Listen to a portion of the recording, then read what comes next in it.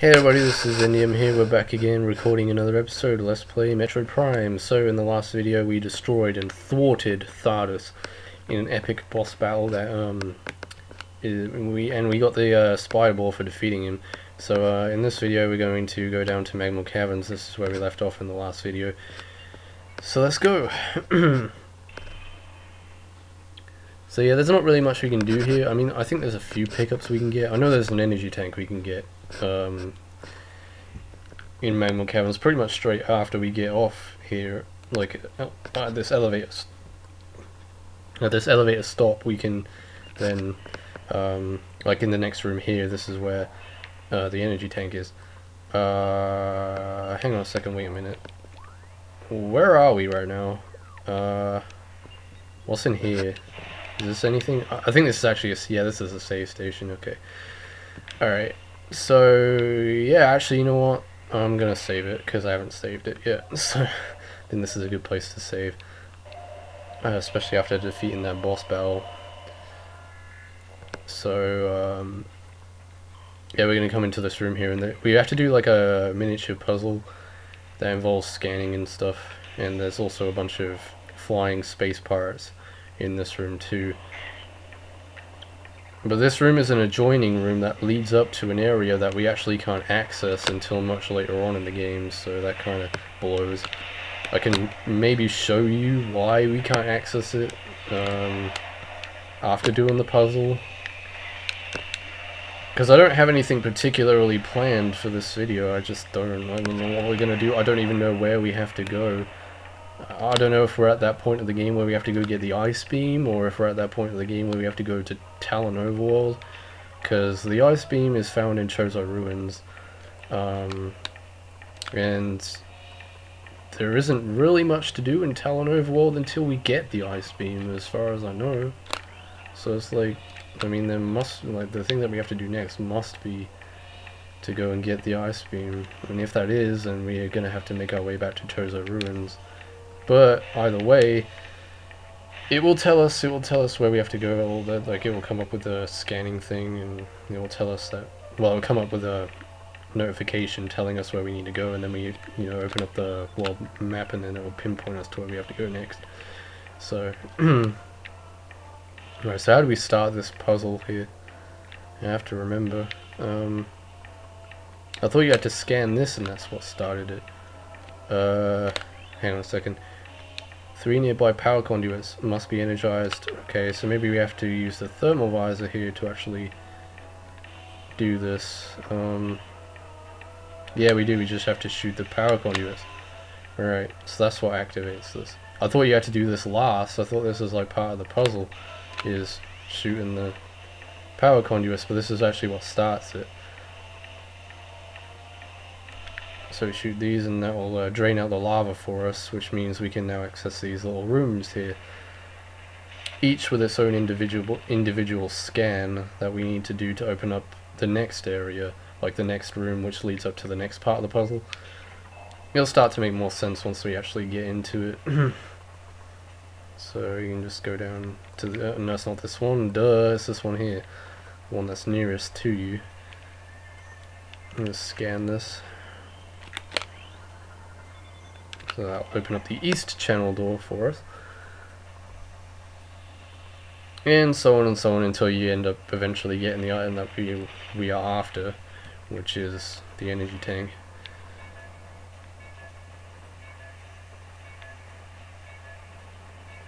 If you want to, you can use your boost ball, but I don't really see how the boost ball will really help in a situation like this unless you get a really nice straight path to boost. A lot of it's all twisty like the passageways are all twisty so you can't really effectively boost ball in in here anyway so.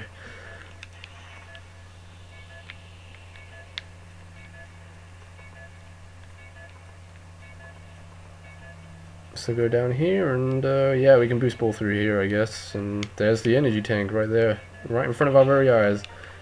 So we got ourselves the energy tank and that increases our health up to is it six we're at now? It looks like six to me.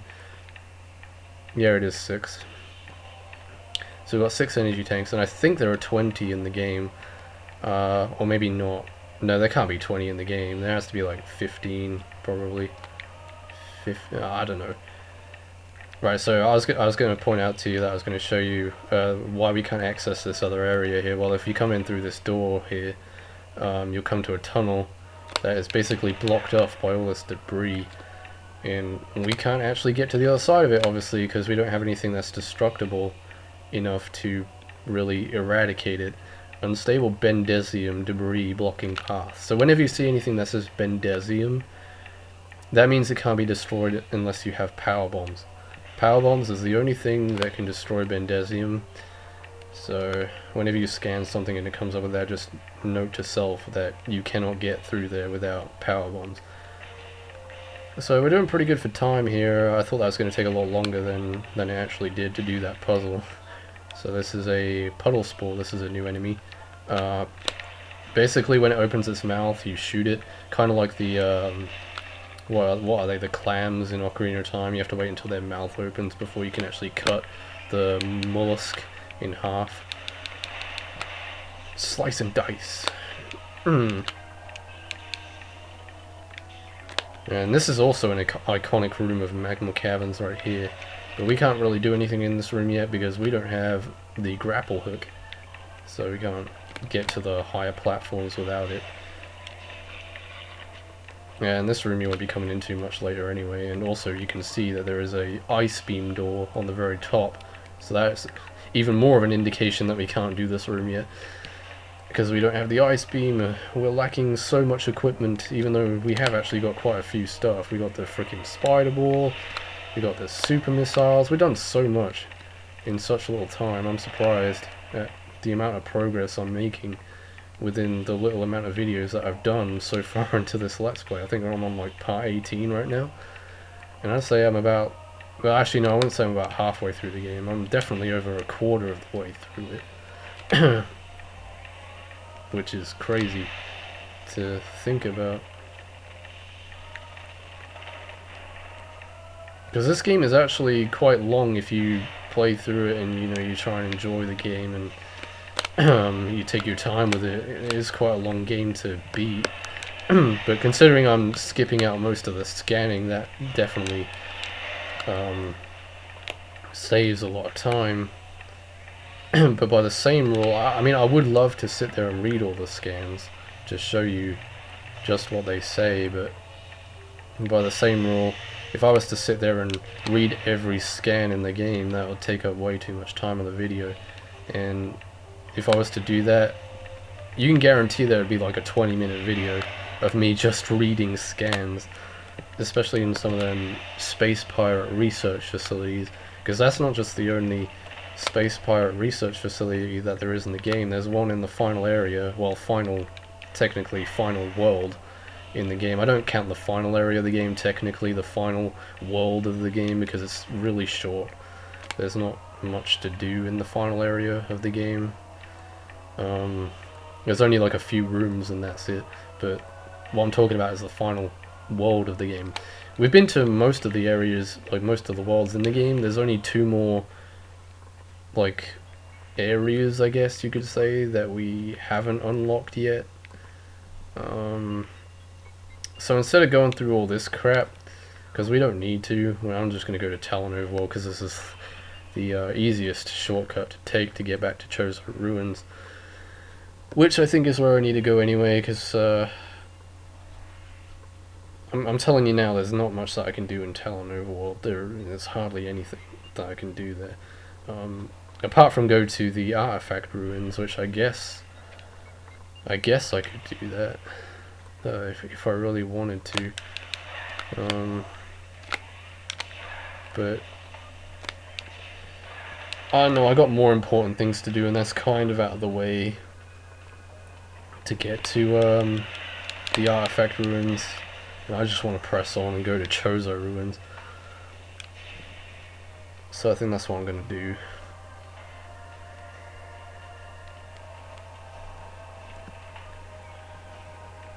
Know, we have one primary objective, we're going to stick to it, we're not going to go off on a tangent and go elsewhere.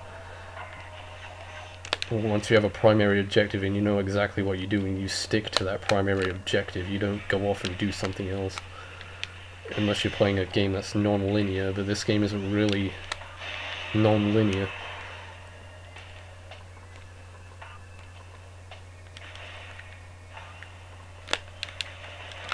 Well, I don't know. I mean, it's. I mean, you can backtrack and stuff, but like the, I don't know. Like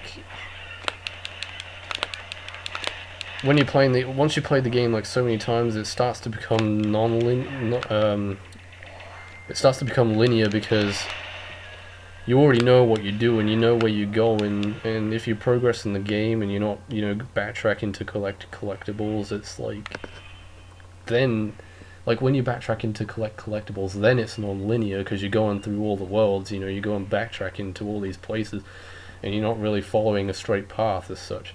But like playing through the game and actually doing the main objectives of the game is is very linear. So I don't know. It's kind of a mix between linear and non-linear.